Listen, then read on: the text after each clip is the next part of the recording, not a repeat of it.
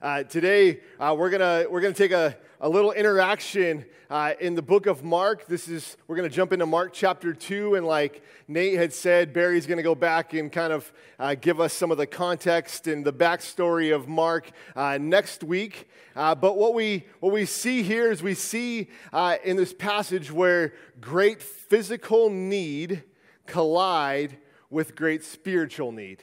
And when I was a number of years ago uh, I had an opportunity to go on a missions trip.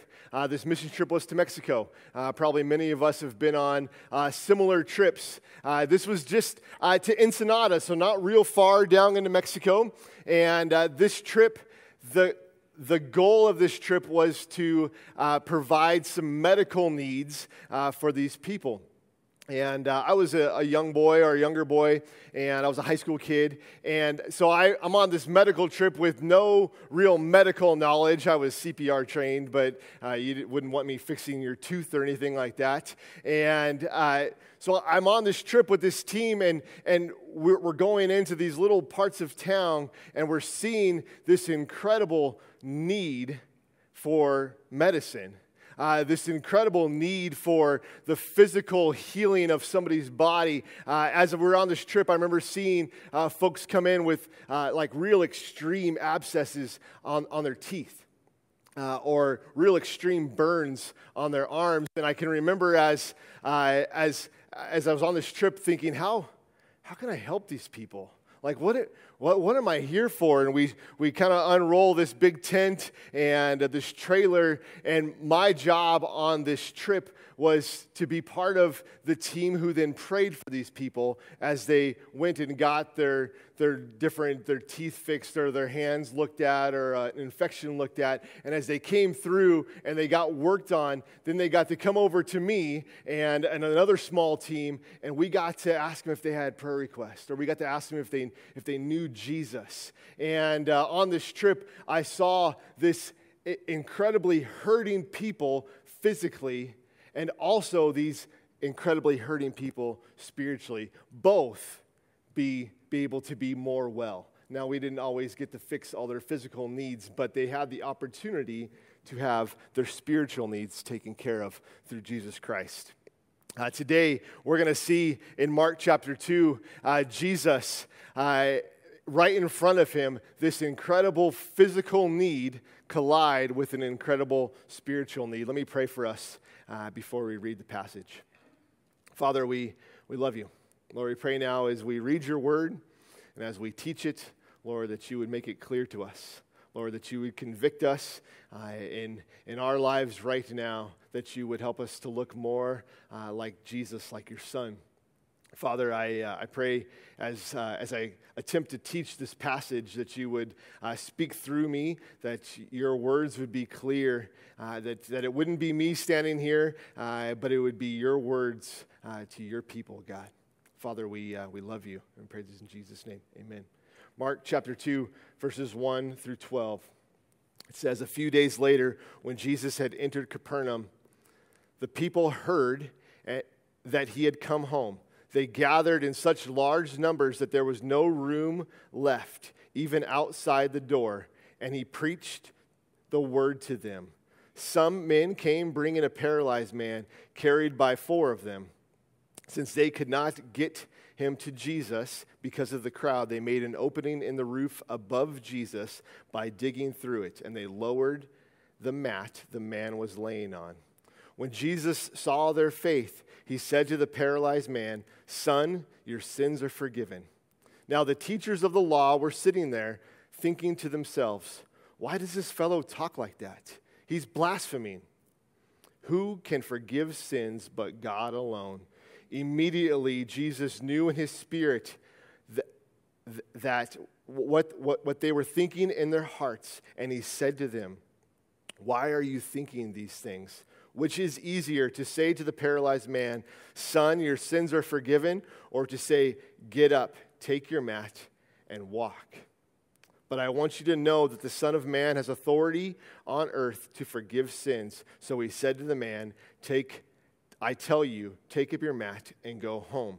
He got up, took his mat, and walked out in full view of them all. This amazed everyone, and they praised God, saying, We have never seen anything like this. Starting in verse 1, we see where Jesus has come home. Uh, we see where Jesus has uh, made his home in Capernaum, uh, but but he's come home from, from a time of, of ministry. And uh, we see in chapter one uh, where Jesus has, uh, has healed a number of people. He's called his first disciples. Uh, he's announced that he is God. Uh, and, and we see a few days later, it says that he's come home. He's come home. This is, this is probably Peter's house. Uh, this is the house of one of his disciples. It's thought that maybe Jesus made uh, his, his kind of headquarters there for about a year and a half. And so he lived with Peter. Uh, he stayed with Peter because we know that Jesus didn't have a house or a place to call his, his own. And it says that a few days later, uh, that this crowd starts to gather. This crowd starts to come around. And, uh, and, and I believe that this crowd starts to come around because what happened just a few days ago. We see where Jesus heals a man that has leprosy. Uh, this leper who, who was an outcast in society comes to Jesus and he's like, Master, if, if, you, could, if you could just heal me, touch me, make me clean uh, so I can go home and be with my family. And Jesus does. He, he, he interacts with this incredibly debilitating disease and he heals this man. He also tells this man, Don't tell anybody. Don't tell anybody what's happened here and uh, and and obviously this guy has gone around. He's talking freely. He's sharing with everybody that he is now home and he's clean, and Jesus has healed him. So Jesus now is starting to kind of gather this following, and as he goes home, he's in Peter's house.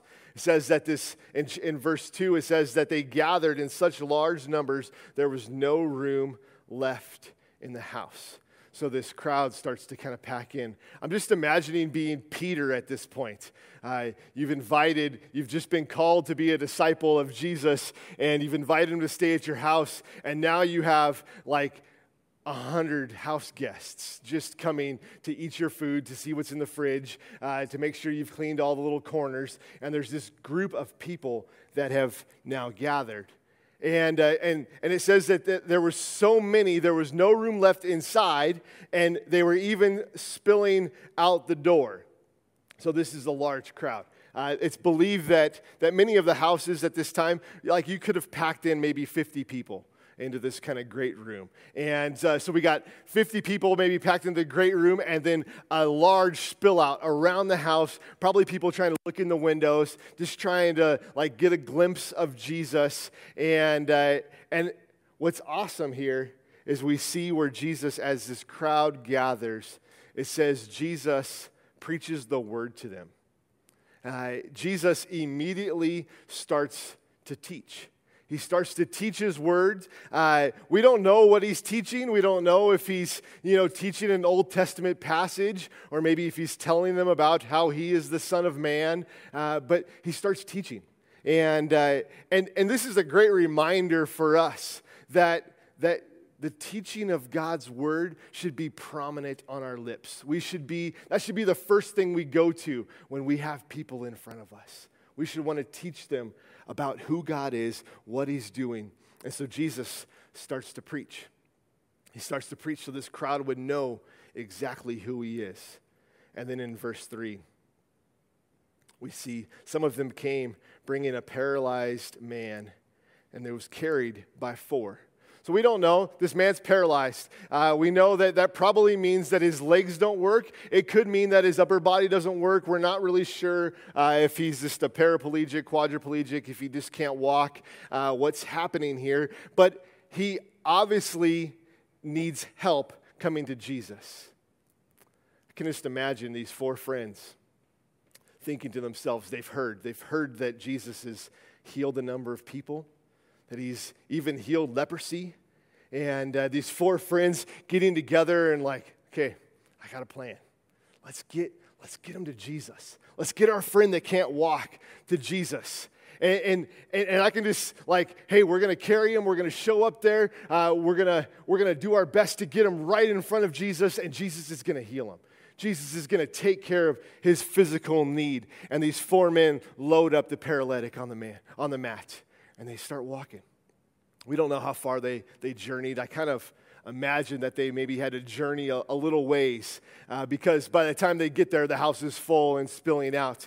Uh, so either that or they just were really bad with time. And uh, so they, they are they're now walking up to this house where they've heard Jesus is going to be, and maybe they're late. Maybe they just they just didn't make it in time, and they see this crowd of people around.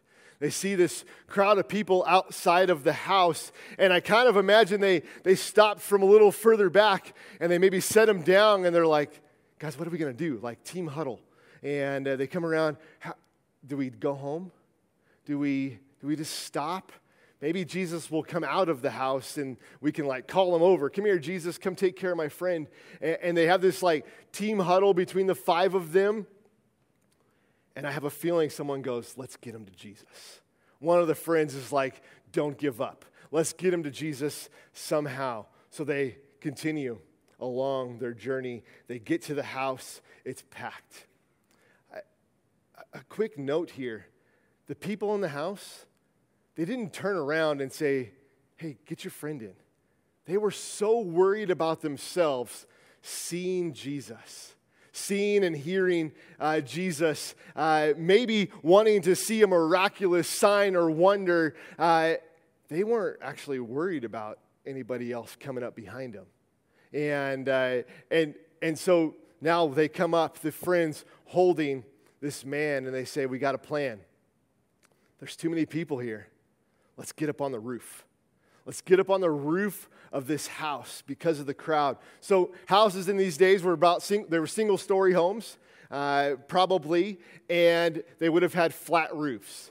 Uh, and with this flat roof, they probably would have had a stairway or a ladder on the side of the house on the outside. So a little different than our houses where we uh, maybe have a balcony, but you can only access it from the inside. Uh, they had a balcony that you could access from the outside. These balconies would have been uh, used uh, probably for, for bathing. They would have been used as like a deck. Uh, they maybe would have been sleeped on. Uh, so they would have been like an extension of the family home, but on the outside of the house.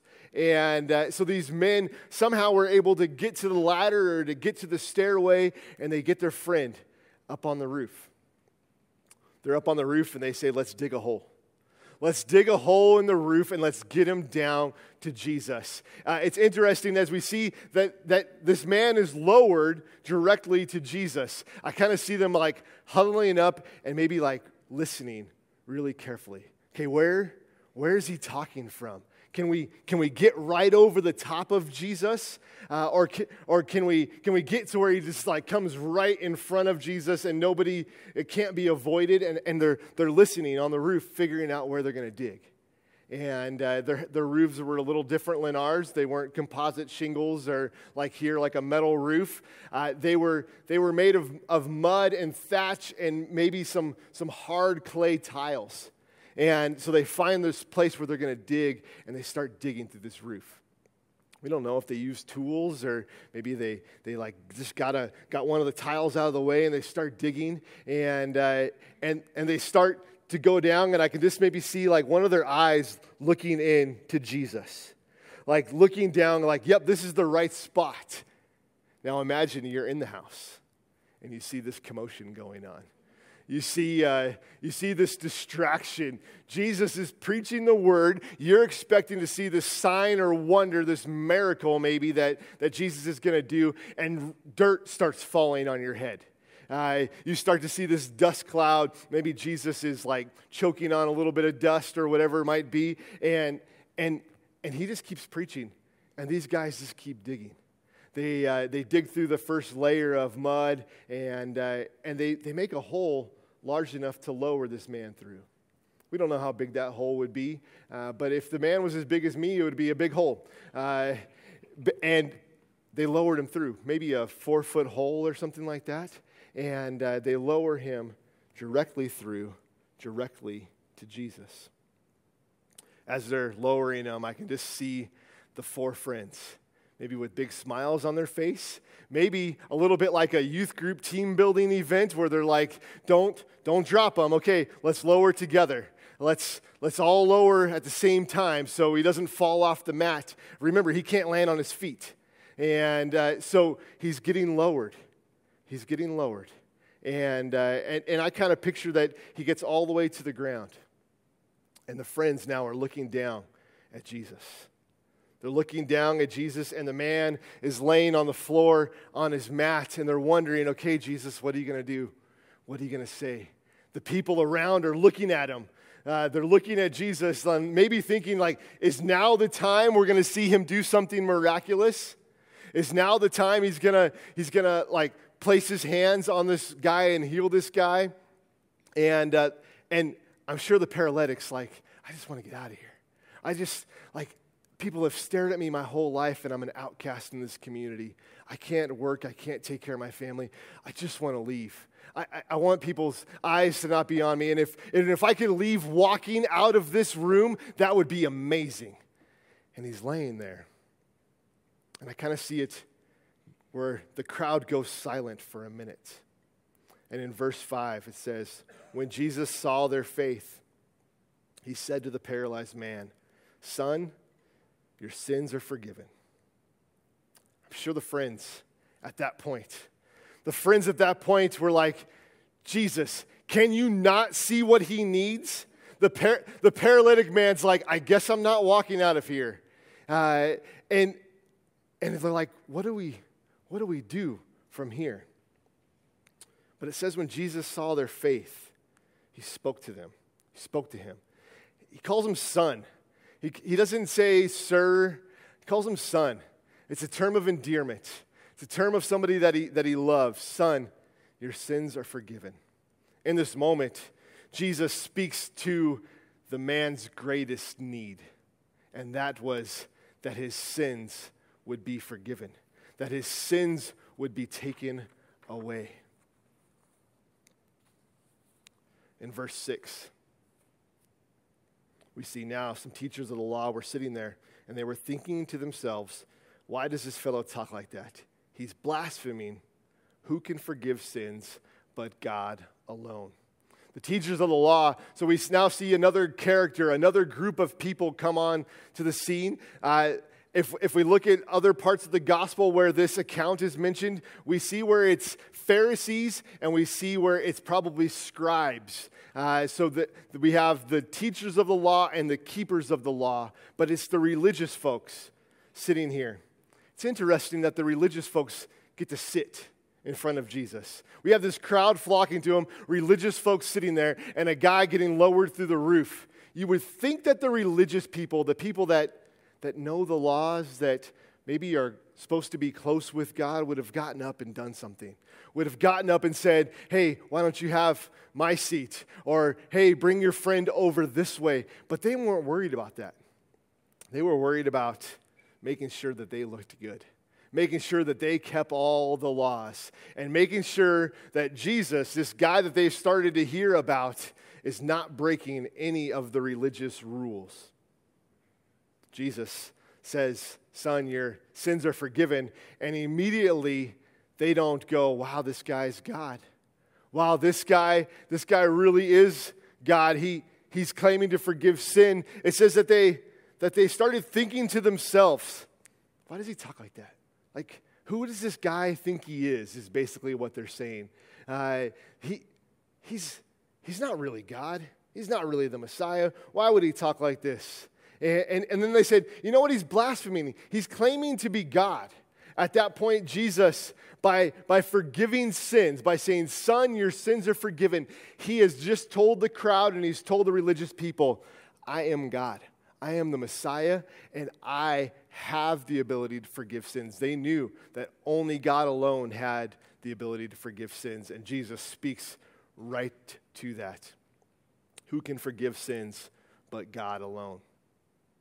These religious people, even, even in the midst of someone's sins being forgiven, they weren't willing to worship and know who the one true God was. In verse 8, it says, Immediately Jesus knew in his spirit what that, that what it was that they were thinking in their hearts. So, Jesus, uh, he, He's God. Uh, Jesus knows what they're thinking. Uh, Jesus can, can, can understand what they're thinking, and, and he knows exactly what's going on in this religious, uh, these religious people's minds uh, and, and in their hearts. And Jesus speaks right to him. He says, Why are you thinking these things? As a religious person, I would think that they would have been blown away at that point. They would have said, Well, hold up. Maybe he's on to something. Maybe he really is this God that he's claiming to be. And then he tells them, which is easier to say to the paralyzed man, Your sins are forgiven, or to say, Take up your mat and walk. But I want you to know that the Son of Man has authority on earth to forgive sins. So Jesus, he's like, what's easier? He's like, religious people, uh, I know what you're thinking. You, now you know I know what you're thinking. You have to know that I'm God. And he says, what, what's easier for me to say? Your sins are forgiven or to, to walk? And uh, from our perspective, as we think about this passage, uh, from an earthly perspective, it would have been way easier for Jesus to just say, Your sins are forgiven. From an earthly perspective, it would have been way easier for me to go, hey, Cheyenne, your sins are forgiven. And, and then Cheyenne just continues to sit there. There's no like red dot that starts shining or a halo that glows over her head. And, and she can just go about her daily walk, her daily business. That's what Jesus said to this guy, Your sins are forgiven. There's no immediate proof. He didn't all of a sudden like start glowing or anything like that. It would have been way easier for Jesus just to say, your sins are forgiven. It's done, it's over. And, and Jesus says, What's easier? Your sins are forgiven or to take up your mat and go home? From an earthly perspective, uh, or for, sorry, from a heavenly perspective, we know what the cost of our sin is. We know what the cost of forgiveness is. We know that without the shedding of blood, there is no forgiveness of sin. So, from the heavenly perspective, what Jesus did is way harder. What Jesus did uh, shows his authority because he forgives the man's sin. Jesus then goes, But I want you to know, I want you to know that I am who I say I am, that I really am the Son of Man, and that the Son of Man has authority to forgive sins so he says to the man, he looks at him, he says, I tell you, take up your mat and go home. Jesus, when he calls himself the Son of Man, Jesus is calling himself God. Jesus is, is using a familiar term to call himself God, and, and he actually uses this term for himself like something like 18 or 19 times throughout the book of Mark, and something like 80 times throughout the gospel, Jesus is called the Son of Man. The Son of Man means that he is God in human, that he's God in human form. And that's what Jesus is claiming for himself that I am God, I am the Messiah, and I'm here walking with you. It's so important that we understand that. It's so important because the Pharisees, the teachers of the law, they didn't get it. They didn't get and understand that Jesus came to earth as God and as human to die for their sins. They missed it completely. And, and I believe that there's people in our culture that miss it in the same way. Jesus is a good person, he was a good guy. Yeah, maybe he was a prophet. Uh, it's so important for us to know that Jesus is the Son of Man that is talked about in Scripture. Verse 11, he tells them, I tell you, get up, take your mat, and go home. Jesus gives them uh, three quick commands. Uh, he looks at him, he looks at this man, he's like, So you can know that I really am who I say I am, that I really am the Son of Man, that I really am God, that I really can forgive your sins. I'm going to show you in a physical way. And he tells them, Get up. This is a paralyzed man. This is a paralyzed man. This takes a little bit of faith for this man to stand up now, to get up. Like, is this really going to happen? Or am I going to lay here on this mat and look dumb? And uh, he gets up, he picks up his mat, and he walks out of the room. Uh, it says that he got up, he took his mat, and he walked out in full view of all of them. So, Jesus, after he gives them these commands, he does exactly as Jesus tells him to do. He gets up, he takes his mat, and he goes home. I can just imagine what this man must have been feeling. He just got lowered through a roof in front of lots of people. He's been maybe feel, felt embarrassed his whole life. He said people stare at him his whole life. Now, Jesus has come on the scene. He's forgiven his sins. He took care of his most important need that his sins would be forgiven, and then he heals his body physically. And he tells him to walk out. It's interesting that he's able to walk out, but he wasn't able, his friends weren't able to have him walk in. I can just see all these people in this house all like step aside. You know, we're going to just let him walk right out the front door and he walks out in full view of these people. And it says that this amazed everyone, and they praised God. They said, We've never seen anything like this. So as this man walks out, as this man walks out, he, the people that are in this place, it says that they praise God. It says that they that they that they they're in, in awe of who he is and uh, they praise God and they say, it's interesting. They didn't say, like, praise the King of Kings or praise God. They said, we've never seen anything like this. Like, this is, this is weird, is kind of what they said. Uh, we, we don't really understand what happened here. They didn't actually praise God for who He is. They just praised God, saying, like, it's never been done like this before. I'm not really sure what happened? This, this crowd is amazed. And I think the response is a little bit off. Just a little bit off in saying, We've never seen anything like this. Now, I believe that there's probably some that glorified God and praised Him, uh, but we also know that later on, as Jesus heals people, they don't praise God. They take their coats off and they grab rocks and they try to stone Him. Uh, they grab rocks and they try to kill him. So obviously, the people aren't completely getting it here. In this passage, we see, uh, we see this great need of sin being forgiven and this great need of a body being fixed collide. And we see four groups of people here. I kind of want to interact with these four groups for a minute, uh, but we see four groups in the story. We see the crowd. We see the crowd, and they, they wanted to be around Jesus. They wanted to, to be kind of where Jesus was at. They maybe heard of some of the incredible things that Jesus was doing. I'm going to stop right there. I think that, that probably we will, we will kind of resonate with one of these four groups, maybe a couple of these groups. So I want you to think as I explain these different groups, uh, maybe which one, which one are you? Which one do you kind of fall into? Uh, and the first one's that crowd. That first one's the crowd. They want to be around Jesus. Uh, they, they maybe invite their friends to come, to come around Jesus, uh, to, to, be close to Jesus. Uh, maybe they've heard that uh, he was doing some great things. Uh, but this crowd, uh, they, were, they were curious, but they weren't really Christ followers. They weren't really uh, there to, to look after uh, and to, to love each other and to care for each other's needs and to really understand who this Jesus was. They were kind of there. They were kind of there just to, just to see what good stuff was going on.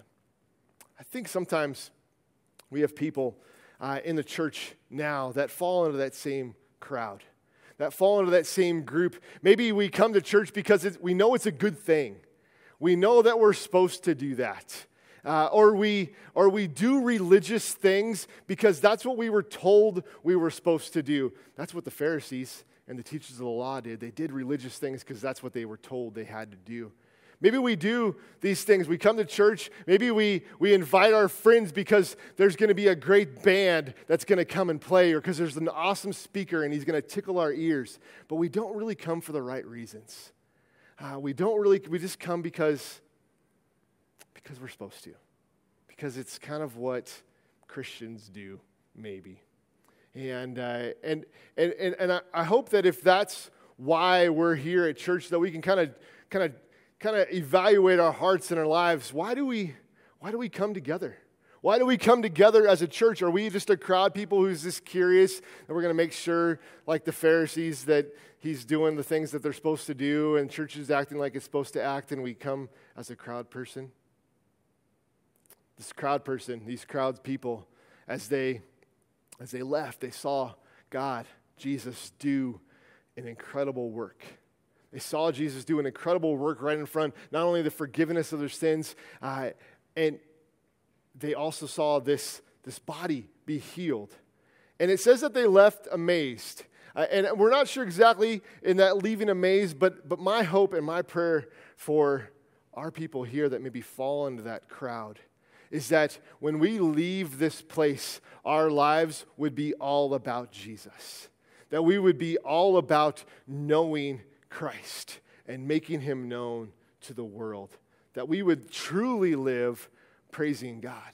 That we would truly leave wanting to know him more. So there's this crowd people. Maybe we resonate with that. There's also this religious skeptic, is what I'm calling them. Uh, these are the scribes, these are the teachers of the law. They, they come in uh, to make sure that Jesus doesn't break the rules. They come in making sure Jesus keeps all the rules and they want to keep everybody straight. These are like the, the fundamentalists that, that want to make sure that our church make, keeps all the rules and does everything exactly how it's supposed to be and there's no tradition broken. That's what these people did. They, they wanted to, they didn't really want to understand who Jesus was, uh, but they wanted to make sure that everything stayed the same, that, that the rules were kept, and I'm going to make rules so we don't break the rules. And maybe that religious skeptic kind of resonates with us. Uh, I know that sometimes that's, that's how, that's the one I resonate with in my heart. Someone that's grown up in church my whole life. And uh, church is supposed to be done a certain way at a certain time. You wear a certain thing. And, and I become this religious skeptic. I become this Pharisee. Uh, I become this fundamentalist that just wants to make sure it's done the right way. That's what these people were. And they left they left understanding that Jesus was God. Jesus immediately knew what they thought in their heart, and he let them know that. They understood that Jesus was God. And hopefully, if we're following that religious skeptic, that Pharisee, that we would leave here knowing and understanding the work and the power of the Holy Spirit and that Jesus is God. There was also the, the paralyzed man. Uh, there, was, there was this man, this, this, this man that had to be brought to Jesus. He had this great physical need. He also had this great spiritual need. Maybe that's, maybe that's where we're at. Maybe, maybe we have this need for, for Jesus, this ultimate need to know who he is. Maybe you're here and you don't know Jesus. Maybe you haven't given your life to Jesus fully. And, and you're like this paralytic that needs to be lowered in front of Jesus, and you need your sins to be forgiven. This paralyzed man, he left. Not only did he leave with his body fixed, but he left with his heart fixed. He left in right relationship with God Almighty. Maybe that's you. Maybe today is the day you leave with a right relationship with God Almighty. We also see the four friends. So, real quick, we have the crowd, the religious skeptic, the paralyzed man, and we have the four friends. These four friends, these four friends were willing to do whatever it took to get their friend in front of Jesus. They were willing to do whatever they t- whatever action needed to happen. They took extreme action with great faith to get their friend in front of Jesus think there's something we can learn from this. So often in, in our culture, in our American culture, we don't want to be offensive. We don't want to. We don't want to be seen as pushy. We don't want to be seen as uh, as somebody that's going to be a, maybe a Bible thumper or a preacher of the word or whatever it might be. But these four friends said, "You know what? It's so important that my friend comes before Jesus. I'm going to do whatever. I'm going to do whatever it takes. I am going to go to extreme measure, and action. Maybe we need to learn from that. Maybe we need, that needs to be us as we interact with our friends or we interact with our acquaintances uh, or we interact with people in the workplace. We need to be willing to say and do extreme things to bring our friends to Jesus. Sometimes we're not willing to do that.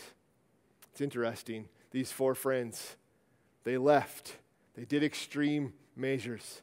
They probably could have been seen as outcasts. Maybe one of them is on Peter's roof fixing it after. Uh, hopefully, that would be the right thing to do, right? Uh, but they, but they left. They didn't leave with a friend still broken.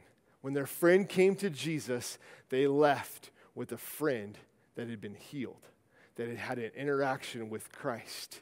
And not only did their physical needs get met, but their spiritual needs get left, get met. We need to be willing to be like these friends. I have a few applications or exhortations from this passage as we, as we come to a close here. Uh, hopefully, uh, this passage has been a great reminder of the actions that we need to take f- for people to come to know Christ. The first, uh, the first exhortation or application I have for us is that we need to live lives bringing people to Jesus. I want you to think when's the last time you shared Christ with somebody in your life? When's the last time you shared the gospel with somebody in your life? If you if you have to think a long ways back, we're not following this passage. If you have to think a long ways to think about, I don't know, I don't know the last time I actually shared Christ with somebody. We have some work to do. We need to live lives bringing people to Jesus. These men not only did everything they could, they were creative in how they did it. They put them on a stretcher and they drug them in through the roof, dropped them in front of Jesus. They were creative in how they did it. They were also sacrificial in how they did it how they brought their friend to Jesus. They used their time and their resources. They, they, probably, they probably lowered him through the roof using the belt off of their jacket to get him to Jesus. And uh, so they were sacrificial in how they did it. They didn't just look back and say, well, today's not the day. Now's not the time. I'm going to do whatever I can to bring my friend to Jesus. And they did it full of faith. They, they brought their friend to Jesus. They lived this life, uh, at least in this moment, bringing their friend to Jesus full of faith. They were willing to rip the roof off to bring their friend to Jesus.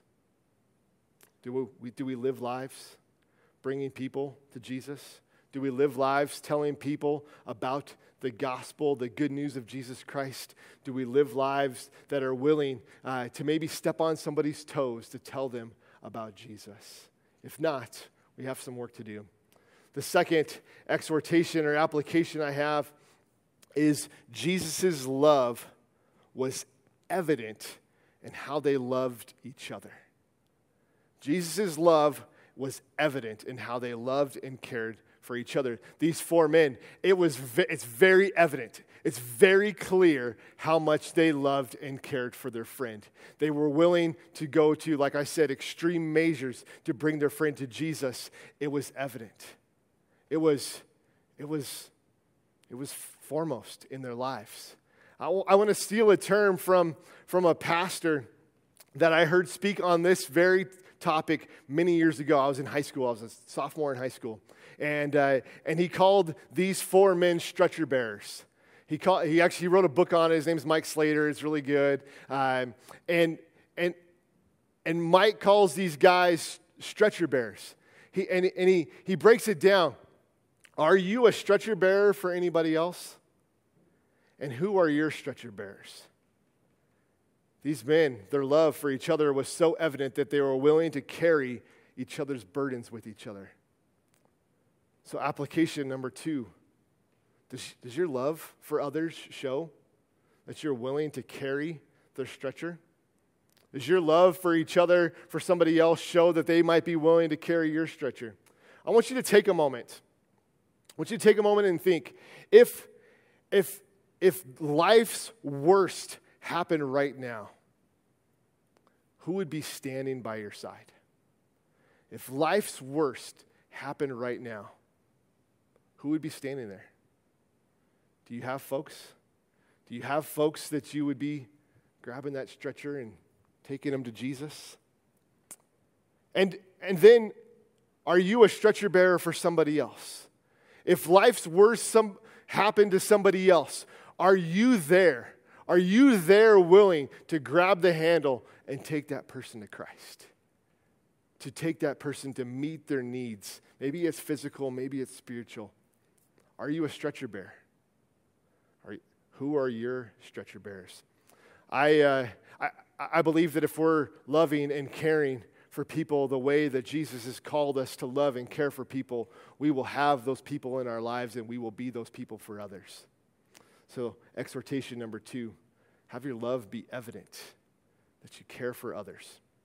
And then the third exhortation from this passage is rejoice and praise God for his mighty work. We see uh, in the end here, they rejoice, they praise God. We don't know exactly to the extent they praised God, but when we see God work in our lives or in the lives of our friends, do we take time to celebrate? We should. We totally should. We should take time to rejoice what God is doing. At Jenness Park, at the end of every week, they take time to rejoice the new salvations by ringing a bell. These kids walk forward, they say, Hey, my name's Jimmy, and I'm from some little church down the valley, and they ring the bell. And they ring the bell and they rejoice, and the camp cheers, and the, the camp staff stops and, and watches what's going on there, and they rejoice in the work that Jesus has done in these kids' lives. Are you? Are you someone who rejoices? Yeah, actually, Tony texted me like seven times asking me, Who rang the bell? Any kids ring the bell? She was so excited, uh, wanting to know how many kids. There was 18 kids the week that we were at camp that rang the bell, and we should praise God for that. Uh, and there should be one more, 19, because she told me on Wednesday. So, do we rejoice? Do we rejoice in the work that Jesus has done? Not only in our lives, but in the lives of others. In this passage, we've seen this collision of great physical need and a great spiritual need. And we see the working not only of Jesus, but of these four friends being willing to bring their friend and go through extreme measures to bring their friend to Jesus. Let's follow that example today. Let's pray. Father, we, we love you. Lord, as we think about this passage, as we think about this account, this interaction with, with your son, Lord, we, we stand in awe. We stand in awe that your Son would come to earth, that he would be the Son of Man, and that he would forgive our sins, that he would ultimately die on the cross, be buried, and rose again in our place, that we could have eternal life. And we stand in awe that your son would be willing to do that. And we also stand in awe of these four friends that would do everything they could to bring their friend to Jesus. Father, Father I pray that we would follow these examples, that we would be people that would be willing to be stretcher bearers for the burdens and the needs of the lost around us. Lord, we love you. In Jesus' name we pray.